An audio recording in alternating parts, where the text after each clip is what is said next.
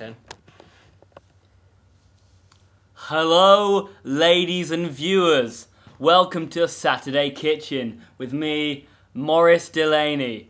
I'm here with two of the top country chefs, the chefs in the country, by which I mean chefs from England, who've got a scratchy ingredient list, by which I mean not very many ingredients, and they've got to whip up a culinary frenzy for us on two separate plates so as not to mix the meals, as done in most restaurants.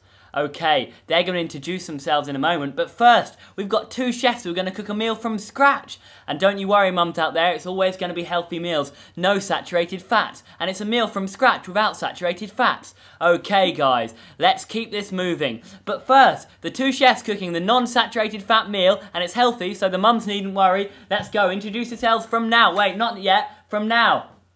Hello, I'm Karen Delaney. I'm Karen Delaney, and I'm studying history. Oh, and hi, uh, my name's Stan Guppy. Um, treat me kindly. Let's get on with the cooking. Brilliant. Let's get on with the cooking. And first, I've got this garlic. I'm going to roast it up fine. Keep it easy. Keep it real. Do you like garlic? You just That's brilliant. Okay, carry on.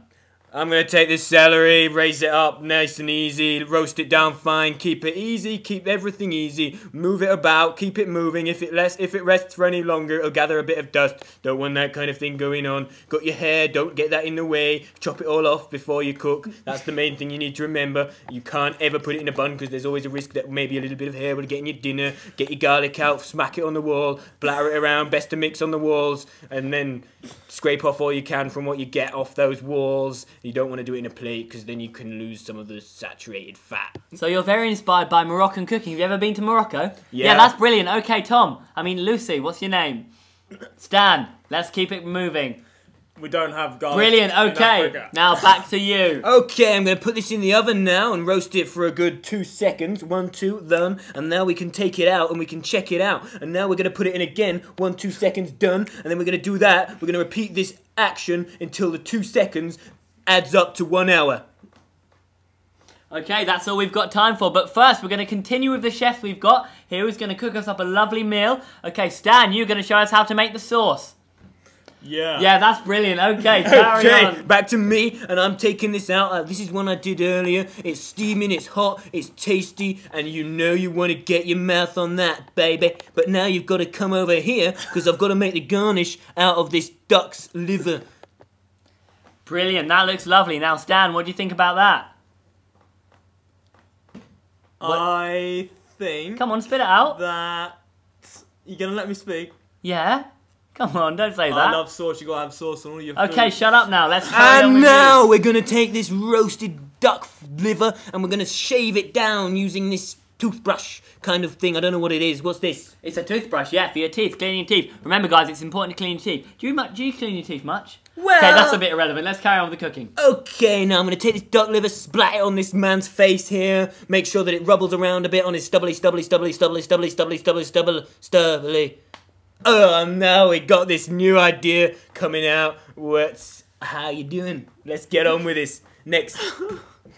Okay, bringing up next up, we've got Lucy from Shoreditch, who's going to tell us all about the weather and whether she thinks rain is a good thing or a bad thing. Rain's the main problem in Spain, but on the plane it makes me feel like I'm in a pain in my knee.